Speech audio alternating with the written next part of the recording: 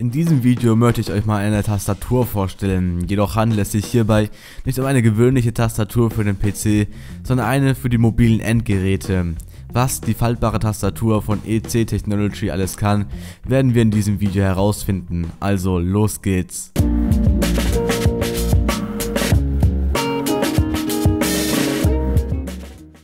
Zusätzlich zu der Tastatur gibt es noch ein Micro-USB auf USB-Kabel zum Laden des Akkus in der Tastatur. Aber kommen wir erstmal zum Design und der Bauweise.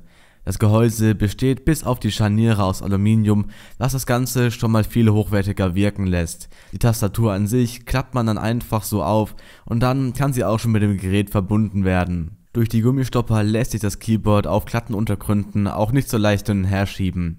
Aufgeklappt hat die Tastatur eine angemessene Größe und ist auf jeden Fall angenehmer zu tippen als auf einem Handy oder Tablet.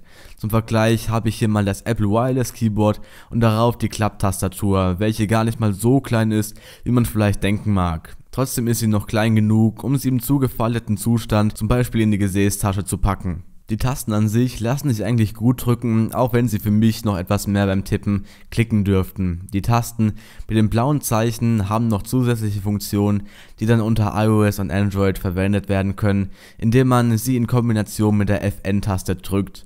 Kompatibel ist die Tastatur mit Android, iOS und Windows, Mac wird offiziell leider nicht supported.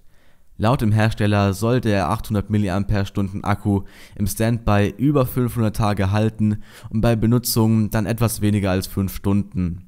Aber wer braucht nun so eine kleine faltbare Tastatur und ist ihr Geld wert? Die Tastatur kann für Leute, die viel und gern am Smartphone oder Tablet von unterwegs aus arbeiten, ziemlich nützlich werden. Es ist definitiv leichter und bequemer, auf einer richtigen Tastatur zu tippen, um beim Schreiben das Feedback der Tasten zu haben, als jetzt auf einem kleinen Display sich andauernd zu vertippen.